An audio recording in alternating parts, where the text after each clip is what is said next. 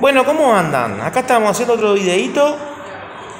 Me acabo de dar la vacuna. Este, la verdad me atendieron muy bien, muy ágil este, el, tema para vacunarse acá en, en Tala. Este, y, y bueno, y hago este video para, para invitar a la gente que aún no se ha vacunado o que está con duda. O sea, el pinchazo ni se siente, ni me enteré que me había vacunado. Este, y bueno, y ahora estoy acá eh, esperando, esperando unos, unos minutos para, para poder irme. Eh, vamos, a invitar, vamos a invitar a una persona para que hable un poquito. ¿Cómo anda, señora? Bien, usted. Estoy haciendo un videito. Bueno. Yo tengo un canal en YouTube. Ah, bueno. Entonces, este. Bueno. Y estaba informando, estaba diciendo que, o sea, me atendieron muy bien y, y está ágil, o sea, la- el tema Sí, la- Está muy ágil y la atención es muy buena.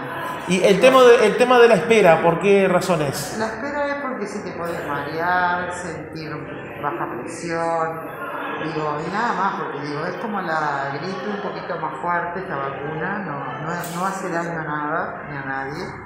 O sea, es una prevención para todos, para salir de COVID, está muy buena. Digo, es como la H1, un poquito más fuerte. Te puede dar cansancio, te puede dar un poquito de, de- de malestar, calor, que todo eso se puede acompañar con agua fría, un paracetamol y nada más. Ajá. Buenísimo. La verdad que, este, no, y, y qué ágil y, y lo que está agendada la gente. Lo que pasa es que acá lo que se agenda se organiza. No es lo mismo que en otros lugares, viste que tenés que hacer colas y colas y colas.